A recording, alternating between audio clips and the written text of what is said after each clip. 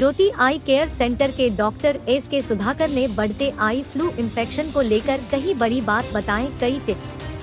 मधेपुरा जिला के सिंहेश्वर दुर्गा चौक गम्हरिया रोड में स्थित Shiv Jyoti eye care centre के डॉक्टर्स सुधाकर ने देश में बढ़ते आई फ्लू को लेकर कई उपाय बताए हैं। वहीं डॉक्टर एस के सुधाकर ने बताया जिस तरह से पूरे देश में आई फ्लू का इन्फेक्शन बढ़ रहा है, इससे लोगों को सावधान रहने की ज़रूरत है। हालाँकि यह कोई बड़ी वायरस नहीं है लेकिन समय से दवाई लेने पर और सावधानी बरतने पर जल्दी ठीक हो सकता है, वहीं डॉक्टर ने बताया कि Shiv, Jyoti eye care centre करीब 10 सालों से सिंहेश्वर के दुर्गा चौक पर स्थित है, जहाँ आँख, कान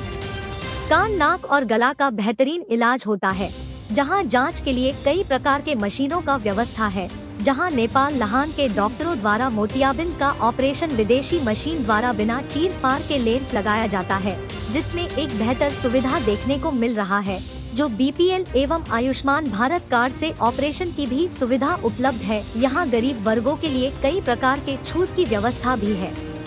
बिहार क्राइम रिपोर्टर मोहम्मद रहमतुल्ला हमसे जुड़े रहने के लिए हमारे YouTube चैनल को सब्सक्राइब करें और नई वीडियो की नोटिफिकेशन के लिए बेल आइकॉन को दबाएँ। अगर आप ये वीडियो Facebook पर देख रहे हैं तो लाइक ज़रूर करें और ज़्यादा से ज़्यादा शेयर करें धन्यवाद